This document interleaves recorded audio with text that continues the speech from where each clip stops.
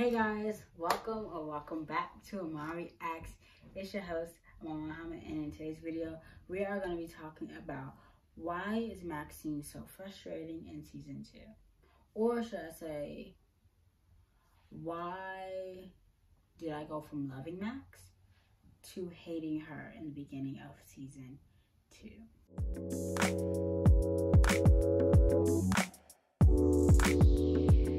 So if you guys for disclaimer purposes, this video was filmed in the beginning of January after um, Ginny and Georgia dropped. And so, yeah, I look a little different. My setup is a little different, but this is going to be the setup. And I just wanted to like give you a disclaimer. The outfit's different. Everything's different.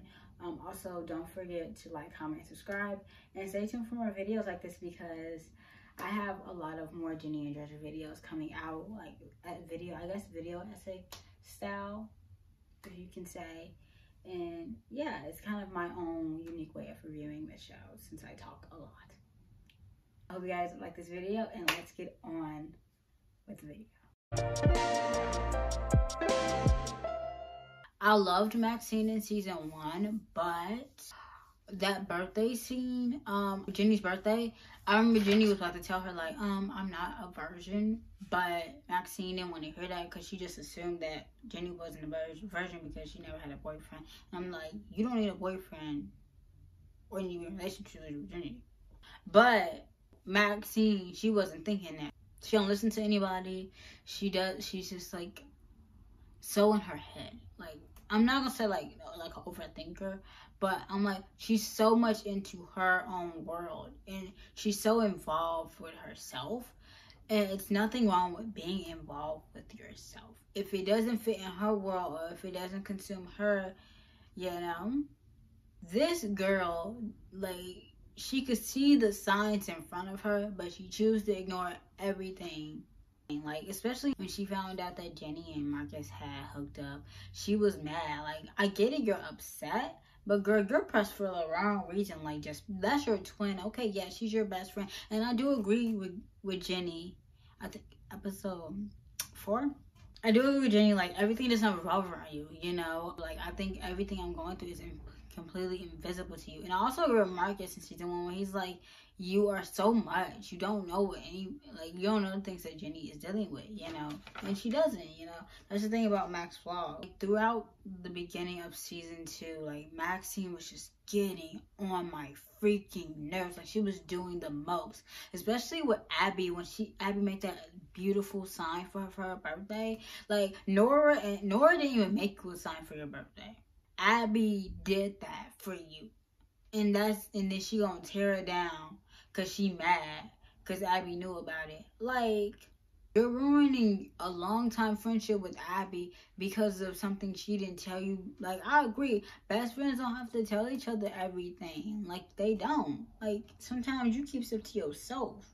Okay? And that's what Abigail did. And I'm happy, you know, I'm happy that Abigail and Ginny, like, kind of like became friends. You know, they became closer this season, which I applaud because I felt kind of sus about Abby at first with Ginny. But you know, either way, we talk about Max. Maxine and Ginny had a conversation and kind of had a different tat in the hallway, and then they made up. I was so happy because I was like, that that whole mad situation was getting on my nerves. Okay. Anyway, I did like Maxine at the end, episode four, all the way till the end of season two because she was more of a supportive fan. Ginny was being a little more out outspoken when it came to Max because season one, Ginny was not really um using her voice like she was this season, which I'm really proud of. Kudos to the writers for making Ginny use her voice more because she needs to.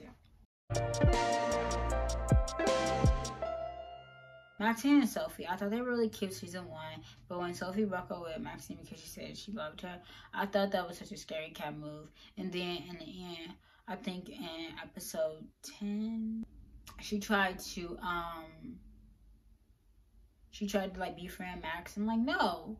First of all, you Max been like Max was pining over Sophie the whole dang on season, and then when she finally starts getting over Sophie, Sophie like I'm gonna swoop back in and try to be friends her. Like no, You ran away when I wanted to love you. And I can't accept that. And I can't accept the fact that you broke up with me right now. Like, I'm just starting to move on from you. I can't be your friend. And I agree with that. And I'm proud of Max for standing her ground. But Sophie and Max are really cute in season one. But I do like Maxine and Silver. Their little flirty bits throughout the show was really, really cute and really, really fun um, to see um, someone match it out with Max's speed. Because Max is, like I said, she's very animated.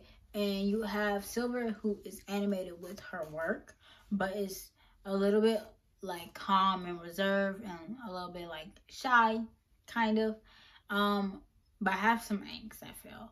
And, you know, I think they fit well together. So I can't wait for season three to give me something with that. So, yeah.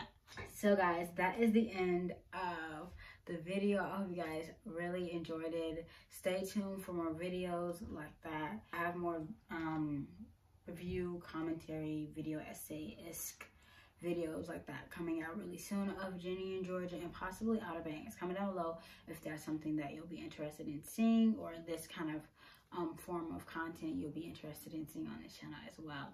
Other than that, I hope you guys like this video. Make sure you like, comment, and subscribe. And stay tuned for more videos. And I'll see you guys in the next one.